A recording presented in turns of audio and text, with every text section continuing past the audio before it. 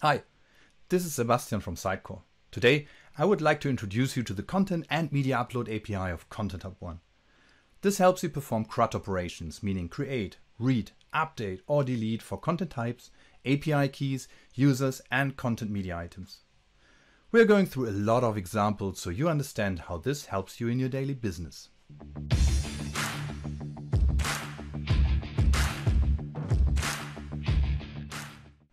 Content Hub One offers several APIs to manage or consume content. We have the Delivery API, where you can query published content using the GraphQL endpoint of the scaled edge delivery layer that is ready for public. The Preview API makes content already available before it gets published. Here, you can query the GraphQL endpoint of the Content Hub One authoring environment to preview content. This API is not meant to show content publicly. The Content Management API allows to manage the content through the API instead of the UI. This can be useful when automating content processing or importing and exporting content. The Media Upload API can be used to upload and manage assets. You have access to all kinds of entities with Content Hub One, such as content items of all types, users, API keys, media items, and content types itself. In today's video, we want to utilize the Content Management API to create a new content type called products.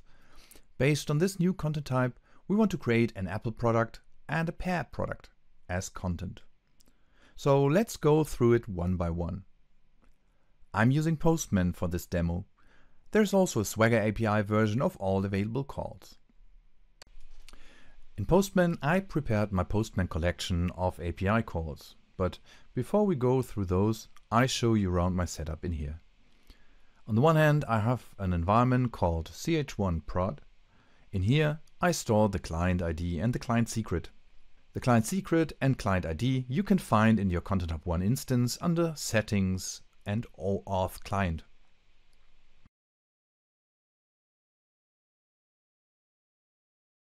On my collection, I created variables for my authentication URL and the Content Management API URL, so I don't have to type them over and over again and I'm able to use tokens instead.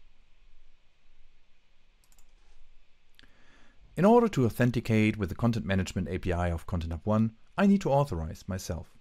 Therefore, I'm calling the authentication URL endpoint to get a bearer token that I need to interact with the Content Management API. I need to pass in the grant type, client ID and client secret which I get from the environment setup and the audience.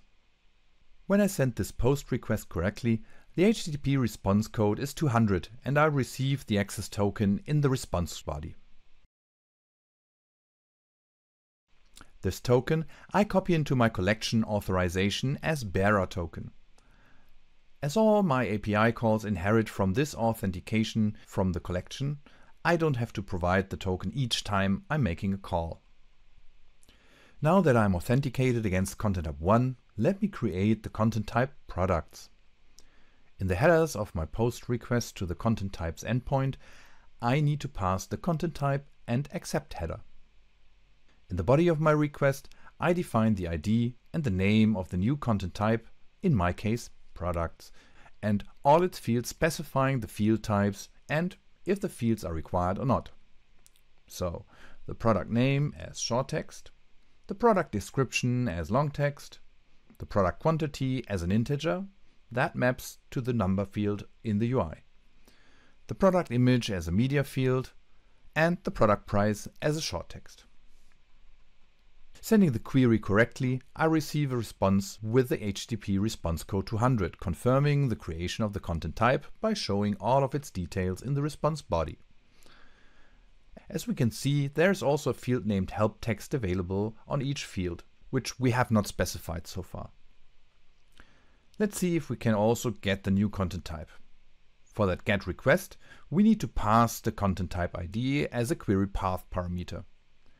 The ID of the new content type is products.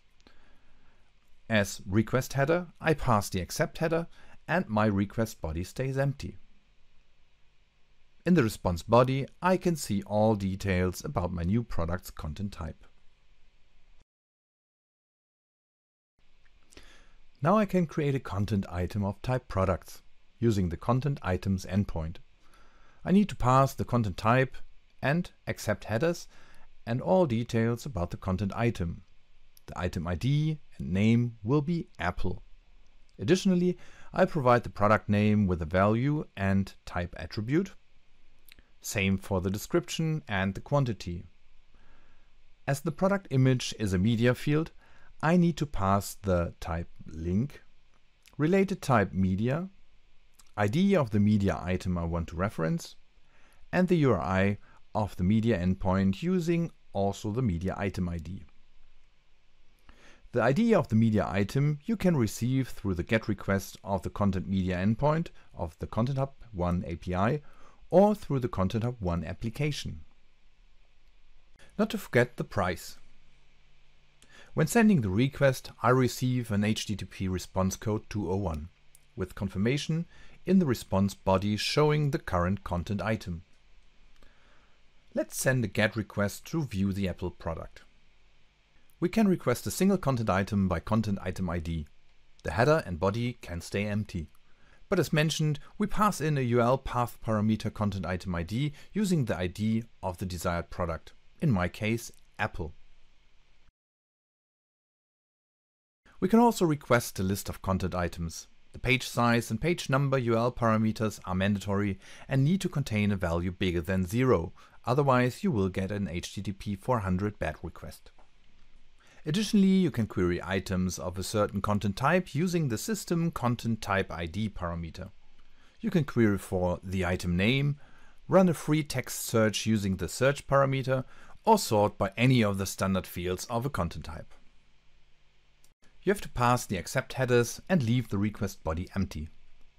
As a response, I get the list of products with the name Apple sorted by name.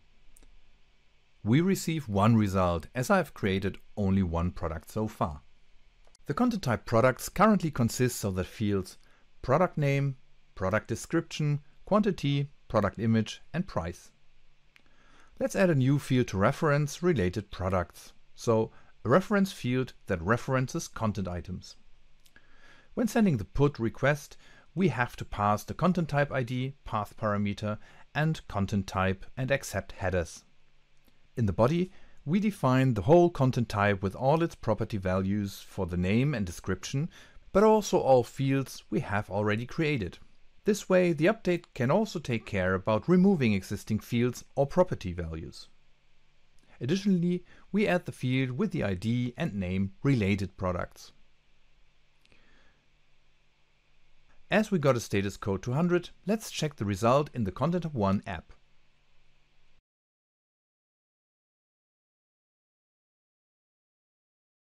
We can see a new field is available now, and we can assign any kind of content items. In the future, you will be able to restrict the content types which are shown here. This would be useful for us as well, as we only want to show related items of type products. So far we've worked with already existing images, but what if we want to upload them using the Media Upload API? This is very well documented on docs.sitecore.com. The flow of uploading images is creating an upload link, upload the asset using the upload link, and completing the upload. Last but not least, we have to create a media item to actually use that image later on with the content. To create an upload link, I run a post request against the media management system upload API. The URL for that is mmsupload.sitecorecloud.io API media v1 upload link generate. I've added the domain to my collection variables. I add the headers for the XMMS content type, which specifies the content type of the file I'm going to upload. Currently, Content Hub One supports the following content types. Image JPEG, image PNG, image GIF, and image WebP. The XMMS content length specifies the maximum content length in bytes. The max file size is 70 megabytes. Not to forget the content type header that needs to be set to application JSON. As body, I specify the file name. When I send the request, I receive the link which I need to upload the actual file. The URL expires at a certain point of time. Additionally, I get the file ID, which I need for my further requests as well. To upload the asset, I need to send a put request using the URL given by the last response. As this request does not require authorization, I need to set it to no auth. I set content type and application headers to application JSON, and in the body I select the binary, meaning the file I want to upload.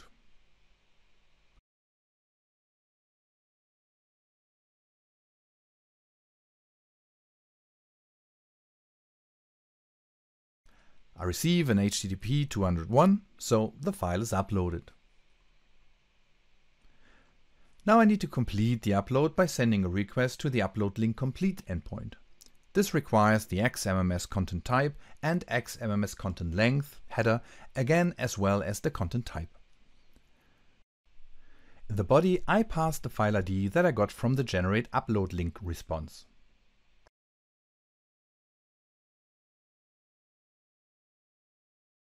The completion is confirmed with an HTTP 201 and file ID.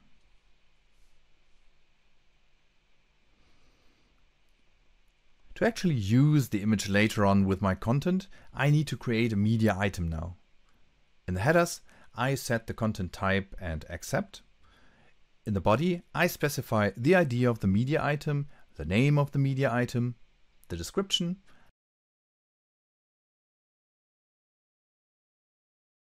and the file ID. Now that my media item is created, let's search for it. I can either get a list of media items or just request a single media item by ID. Let's do that for now. I pass the media item ID as a URL path parameter. In my case, that's pear. I've set the accept header and left the body blank. The request returned the newly created media item.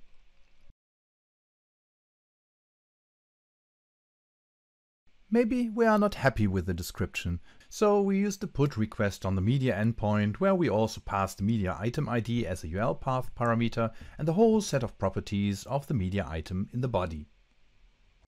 The ID, the name, the description, and the file ID. Send it and the media item has been updated. As everything is set for the media item, I want to publish it, so whenever I use the media item in my content, it's available through the Media and Content Delivery API.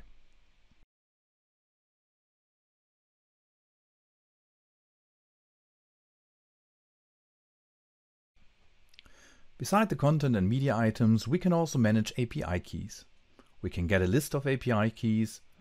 The API key itself is not shown, but a hash. The hash is further on used to identify the API key when updating or deleting it. Let's create a new API key. Similar to the app, we need to pass the name of the API key and the type. The type can be preview or delivery, depending on what API the key is for. We get the API key in the response, this is the only time the key is shown. To update the API key, we need the hash. So let's check with the list of keys. Copy it. We can change the name of the API key if we need to. Therefore, we provide the hash and pass the new name in the body.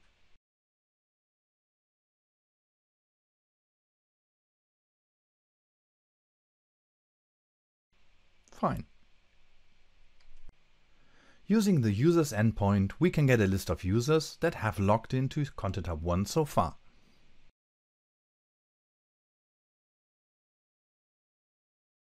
As you can see, the Content Management and Media Upload API is a very powerful tool when it comes to importing or exporting content or adding content automations, for example using Azure Functions.